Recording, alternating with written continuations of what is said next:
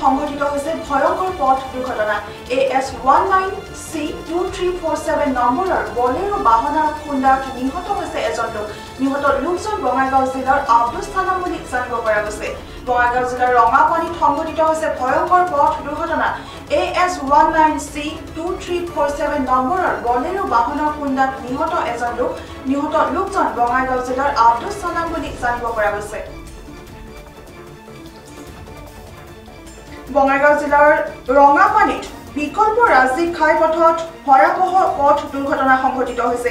A S one nine C two three four seven নম্বৰৰ Bolero pickup বাহনৰ খুন্দাত আহত হয় আব্দুল চালাম নামৰ পথচাৰীগৰাকী সংকটজনক অৱস্থাত আব্দুল চালামক বৰপেটা ফকৰুদ্দিন আলী আহমদ চিকিৎসালয়লৈ প্ৰেৰণ কৰা হয়। গাড়ীখনত চোৰাংভাৱে গোমধান আৰু বগা চাউল তীব্ৰ গতিৰে গৈ থকাৰ সময়তে সংঘটিত হয় দুৰ্ঘটনাটো। মেৰেচৰৰ আৰক্ষীয়ে গাড়ীখন জব্দ কৰিবলৈ তদন্ত অব্যাহত ৰাখিছে যদিও এতিয়ালৈকে জব্দ কৰিব পৰা নাই। আৰক্ষীৰ তদন্তত পোহৰলৈ আহিব ক'ৰ পৰা সামগ্ৰীসমূহ কঢ়িয়াই আনিছিল চিকিৎসালয়ত আব্দুল চালামৰ মৃত্যু হৈছে বুলি জানিব পৰা গৈছে।